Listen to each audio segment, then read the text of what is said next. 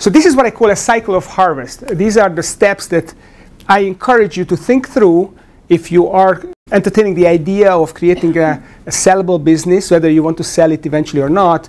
These are the steps that I went through and I, I, encourage you to go through as well. So we'll talk about the triggers. What can trigger your decision to create a sellable company?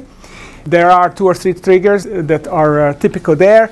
Then we are going to look into the future and figure out what should be the value of the business uh, to get uh, fulfill your financial um, your plans and, and uh, aspirations. And then we look at that delta and we, we are going to consider what does it take to, to create that growth to get from where you are to where you need to be, where you want to be, and how can you create that growth and what are the tools at your disposal to do that.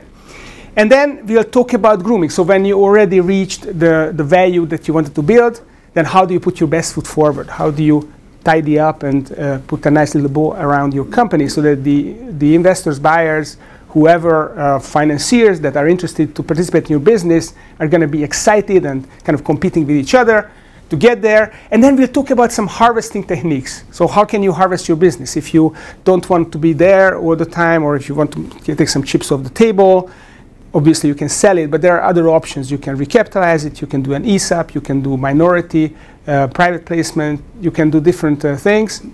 And finally, we'll bring it uh, to full circle. So what is your future vision and what drives your decision whether to, to sell or not sell or, or make it sellable or not sellable. So, so we'll connect uh, that together.